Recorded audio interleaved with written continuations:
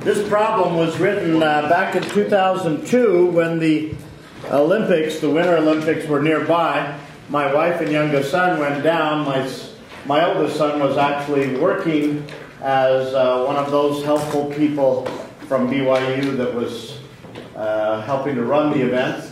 Anyway, uh, the only event they could get into was the bobsled, and they came back. My son was so excited, I wrote this, uh, this exam question.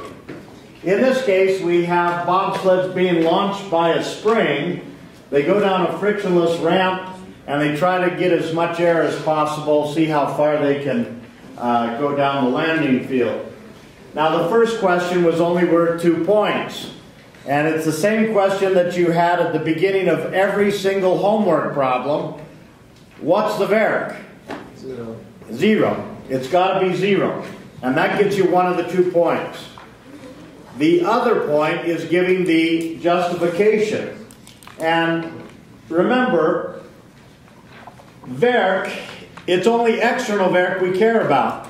And if we draw a free body diagram for that uh, bobsled, uh, the Earth is part of our system so that we can talk about the gravitational potential energy. Um, so this is an internal force. This is the only force we have to worry about.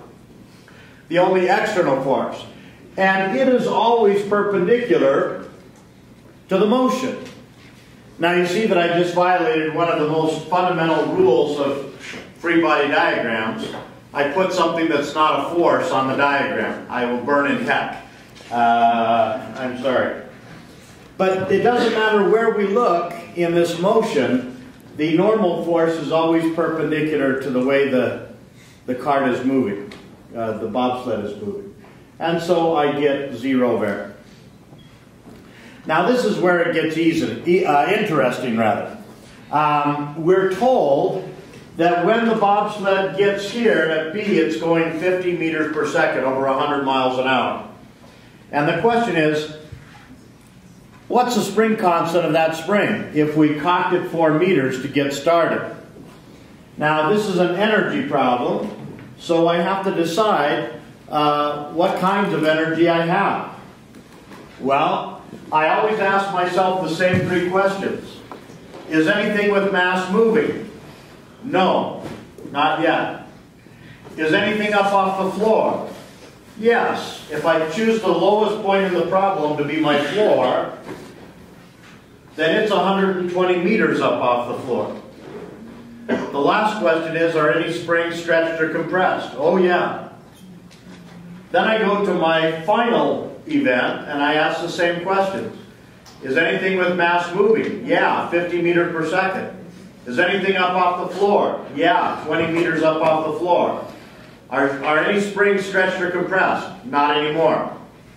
So the buckets that are filled are gravitational and spring to begin with. Since there's no external varic, the energy is conserved.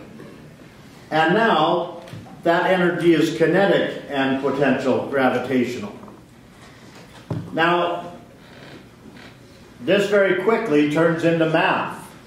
Uh, I write which buckets I have at, at the initial and the final locations, and then I put in the formulas for those buckets. Now you'll notice that everything's in black except for K. And that's because I know everything except for K. They're all knowns. Quick question, can I just uh, cancel the mass? I got mass on the left, I got mass on the right. Can I cancel the mass? No or heck no? Heck no. Heck no. It's not in every term. I got it there, I got it there, I got it there, but not there. Okay, so I cannot cancel the mass. I plug in all the things I know, and there's just one unknown.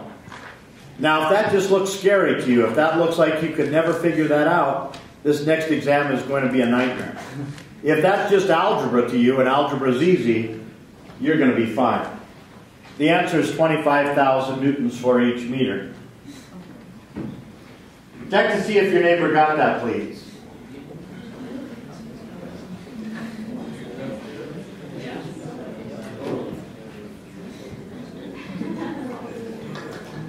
Okay. We're asked to find the acceleration of the bobsled at point B. Now, at B, the bobsled is not speeding up. It has been speeding up, but not now, not at B. At B, the bobsled is not slowing down. It will be slowing down in just a moment. But at B, it's in transition. It was speeding up, and it's about to slow down. That's the point where we take our foot off the gas and move it to the brake. At that point, the only kind of acceleration we have is turning. And it's in a circular path, and so that's going to be centripetal acceleration, v squared over r. The v is given as, as 50 meters per second. The radius is given as 100 meters. That gives me an acceleration of 25 meters per second per second. Now, when this was on an exam, uh, people said, well, it would be 25 meter per second per second, uh, but really not, because it's not speeding up or slowing down. No, this really is. I mean, this is a big acceleration, and you feel it. When you hit the gas, you're thrown backwards in your car. When you hit the brake, you're thrown forwards in your car. When you feel, uh, when you turn the steering wheel real quick, you're, turn, you're thrown the other way. Now, in this case, these uh, Jamaican bobsled uh, team, they feel it because they are headed down and suddenly the bobsled starts going up. They keep going down and it feels like they're being crushed into their sled. They feel like they each ate 27 Big Macs. Okay? Their apparent weight becomes huge. Okay? Now, we want to find that apparent weight for the whole bobsled. If we draw a free-body diagram for that bobsled, it had better scream up. And that's because there's an acceleration up. How loud should the scream be? Well, that's given by F net equals ma, where the mass is 80 kilograms, the acceleration is 25 meter per second per second up. That means this diagram has to scream up by 20,000 newtons. That's quite a scream. Now the weight force is just mg, that's just 8,000 newtons. So how big does that normal force have to be on the bobsled? Tell your neighbor real quick. My scream up has to be 20,000.